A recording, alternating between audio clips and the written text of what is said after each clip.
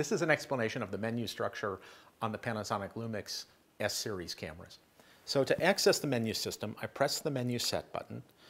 Now we have tabs and pages, and then we have the items within the pages over here. Now there are several ways to navigate around this, this, this system.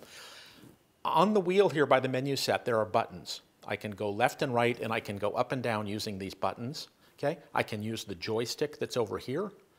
Okay? I can touch the screen, so I can touch on whatever item I want. I can also use the thumb wheel back here and the index in front here. So now I'm going to go back to the structure over here. So now the top, the top tab here is still camera settings. Once I'm there and I move over into the pages that are in there, these are all the different pages that are in each setting. Now at the top up here, it explains what it is. Image quality, I'm just going to show you a couple in this one. This one talks about flash settings, and this is where all the settings are contained that pertain to the flash or whatever it says up there.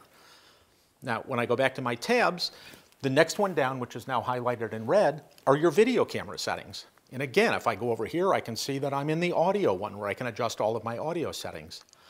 Now, if I go down here to the cog or the gear, these are a lot of settings. And let me move up here where I can do things like set my image quality, my focus setting, things like that.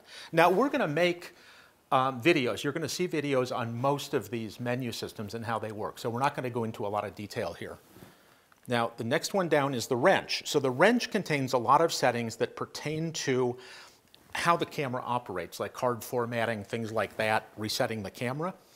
The next one down is My Menu, and we've already made a separate video about My Menu that explains exactly how to use all, of, all the features of that. And the next one down are your playback settings. And again, the tabs at the top talk about adding and deleting images, playback, you could do raw processing here, things like that.